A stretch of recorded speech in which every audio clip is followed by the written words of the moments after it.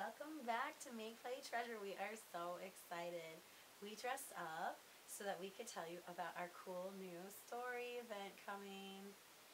31 days of Halloween stories.